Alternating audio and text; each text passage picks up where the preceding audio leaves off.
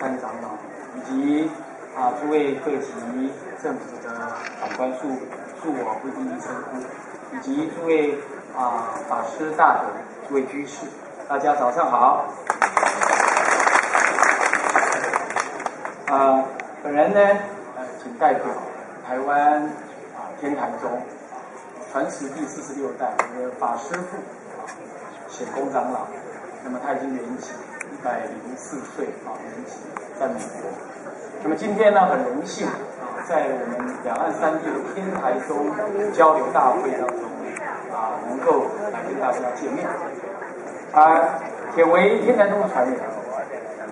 当然。我十多年前啊，啊就来过啊天台，我们天台山，这是我们的祖先。那么这十几年来啊，可以说来了几次。我常常说，如果呃回到我们大陆来居住的话，大概就天台山是我能够居住最棒的地方。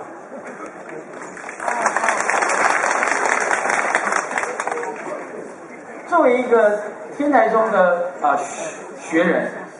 并不是因为他是作为学人，所以我们说他啊非常的好，说他圆融而已。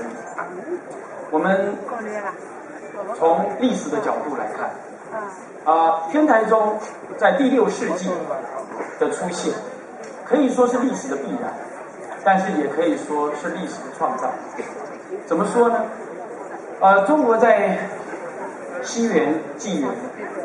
零年的时候，可以说那个时候混沌里传入了西方的印度代表佛教进到中国。这过程当中，从完全不理解佛教是什么，然后再慢慢的透过格义佛教的转制，可以说是佛教的道教化跟修仙化，慢慢的呃进入到了。鸠摩罗什大师的精确翻译，使得我们中国人在固有的文化之下，对佛教有了更深刻完整的理解。接着呢，开始就有问题，因为世尊讲经说法，应各个时代众生不同的机会，各个呃修行背景不同的众生，他就有种种说法的不同。作为当时。呃，吸收印度文化最广大的土地的中国，它几乎由南方、由中呃由东方，那么呢一路的由西方一路的传入了各式各样的佛教的解释。那么这个时候，我们开始遇到了经典解释上的不同，以及修行方法上的不同，甚至于大小乘修行方法的不同。面对这么多的不同呢，而当时我们中国的祖师们开始思考一个问题，那就是怎么样整合，怎么样告诉一切未了解佛法或者想要修习佛法的人，那么有一条完整的路。我们从这个历史的脉络上来看，这当中又进行了两百多年，可以说到西元前的四世纪、五世纪这当中。所谓的学派佛教的兴起，一经一论的深入研究，非常的广。当时的北方禅修为主，南方啊，因为呃它的天候跟文化的环境，使得它能够在呃教理的研究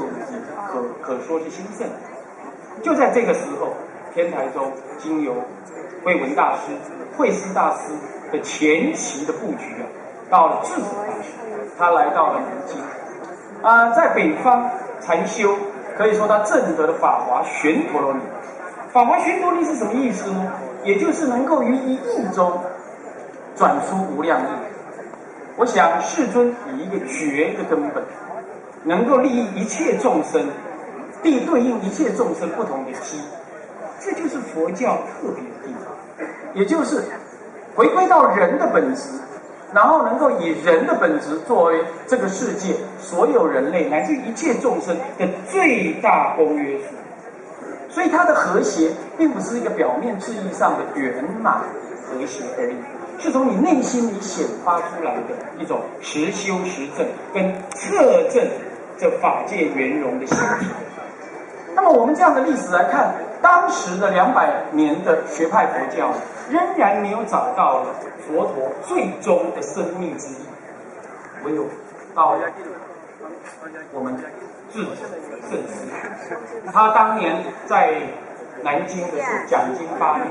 可以说皇朝啊，皇呃朝朝廷啊，为他罢朝三日听经。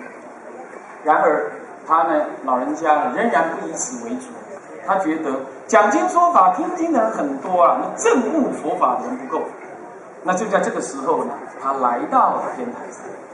那到了我们的修禅室，那是营地，那么去禅修。这里头我们看到了智者大师教理的圆融之外，还要通过教理圆融之后的实修实证，来展现世人一个最深刻的、完整的佛法实践。这种圆融是世尊出世的根本意，并不尽然啊，是因为说啊，中国人特别喜欢圆融这样而已。所以，当我们理解到这样的时候，我们知道天台中的未来的弘扬，从天台山在对世界上的弘扬，那是必然的，而且是必须可以，因为智者大师完成了印度诸位大德法师所没有完成的事业，那就是中理了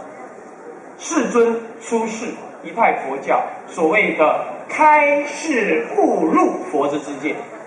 这样子的终极圆满统一的佛法觉悟思想。那这样子作为天台宗的主题，作为能够完成这个最大志业，将世尊的说法最终完成的天台宗，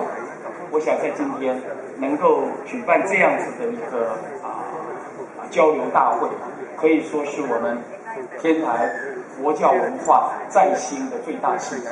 啊！我在此呢，祝予啊深深的啊祝福之意，也是表达我们对于啊各级政府还有我们永冠法师能够有这样子的远见的，致至高无上的尊敬之意。